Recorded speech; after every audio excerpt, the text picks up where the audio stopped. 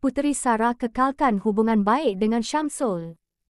Kuala Lumpur, biarpun sudah tiada ikatan perkahwinan, pelakon Puteri Sarah Liana masih mengekalkan hubungan baik dan mengambil berat keadaan bekas suaminya yang juga pengarah sensasi Syamsul Yusof.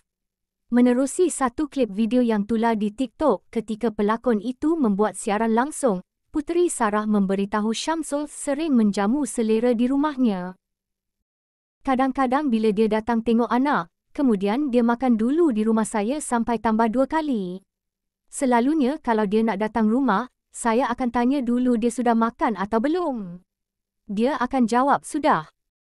Tapi bila sampai saja di rumah saya dia akan tanya ada masak apa-apa tak untuk dimakan.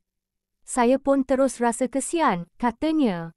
Pendedahan mengejutkan itu juga meraih perhatian ramai sehingga ditonton lebih 3.2 juta dan mendapat lebih 5,000 komen.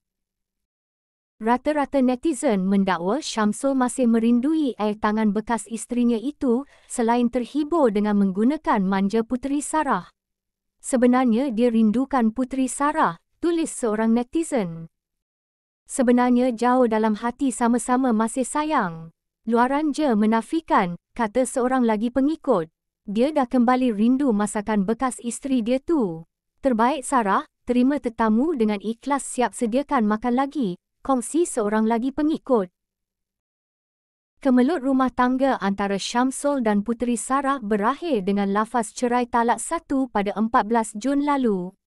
Terdahulu Syamsul mengumumkan sudah bernikah dengan Ira Kaza yang turut menjadi anak kepada pelakon veteran Kaza Saisi di Thailand pada 5 Januari lalu.